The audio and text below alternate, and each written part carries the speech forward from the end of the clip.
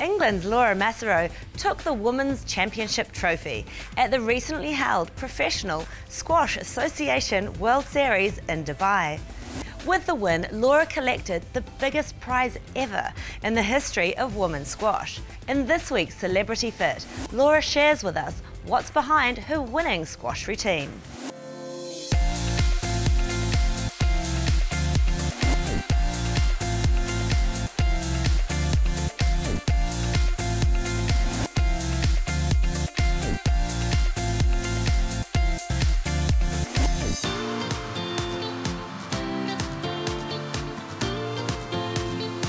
Oh, it's been really good. So since I um, since I unfortunately lost the World Championships, I've just been at home training. We went to the European Team Championships, which was great because it sort of kept me sharp with my matches, and then um, been able to just train hard for the last 10 days. And it was hard because it felt like the end of the season was so close, um, but it was you know it makes it all worthwhile now having been able to lift the trophy and try and stay relaxed and be positive and really look forward to such you know such an amazing final in such an amazing location and try and enjoy the whole the whole part of it and, and if I could play my best squash hopefully walk away with a title as well.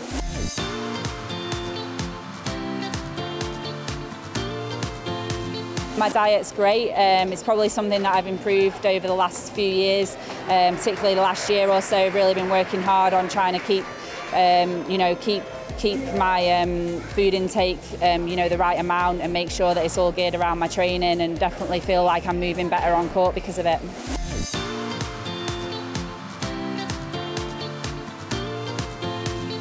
Oh, it's amazing, you know, like I, I, could see obviously between games the trophies that were right there and every time I looked up I could sort of see them shining out the corner of my eyes and I just thought, you know, I just want to make sure that I give everything that I've possibly got to try and get my hands on it.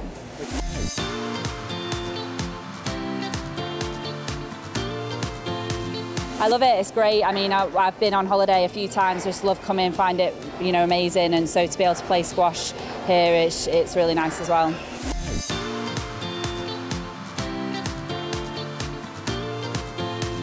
Um, yeah, just watch as much squash as you can. Try and copy, try and copy the pros. Make sure that you enjoy it, and um, you know, just just work hard. It's a tough sport. Physically, you have to put in a lot of work, and um, it's not always easy, but it's definitely worth it when you see the rewards on court.